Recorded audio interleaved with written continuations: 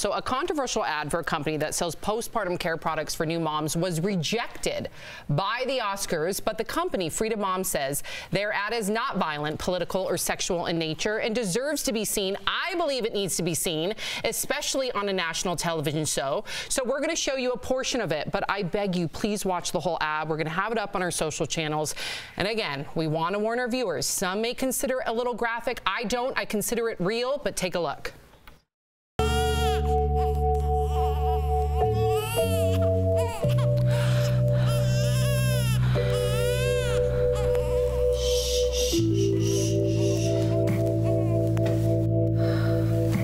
And there's much more to that ad. Frida Mom, first of all, thank you. And the company hopes its message, honestly portraying what new moms can expect after giving birth, will go viral.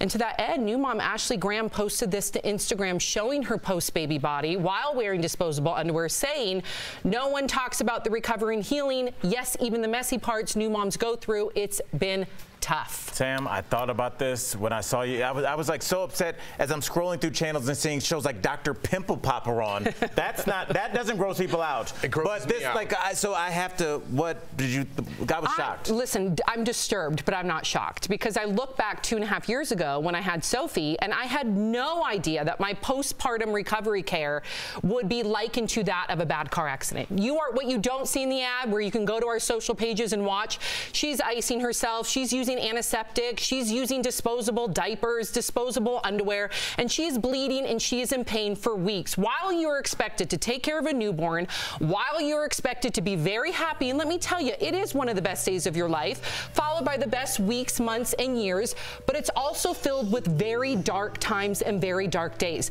that we do not talk about. Why? Because people think it's gross, because people think it's taboo. No, it's called healthcare, women's healthcare. And the fact that we don't value women's health care in this country and in this world only highlights the misogyny that we have to deal with daily, and it's costing women lives. Because, yes, there is a clinical component to postpartum depression. There's also an environmental component to postpartum depression. This is one of them. When we don't prepare women what to expect when they give birth, the highs and the lows, the good and the bad, that will then cause women to internalize it as fear, guilt, shame, and that leads to women, guess what, committing suicide, taking it out on their children. So I applaud this company. I'm so happy that we can have the conversation here on a national television show because most people don't want to talk about it, don't want to show it.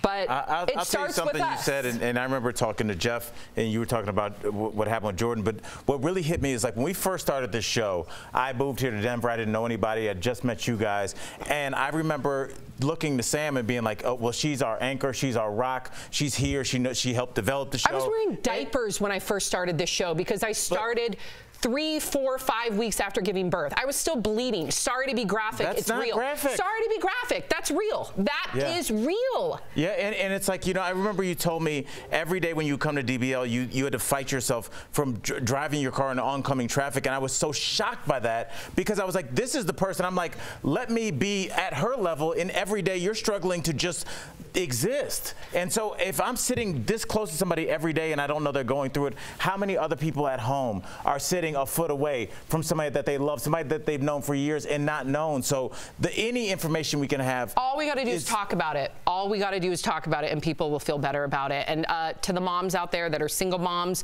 have multiples, I can only imagine it's even harder. So I salute you. I salute the company. And uh, together we will change things. I know we will.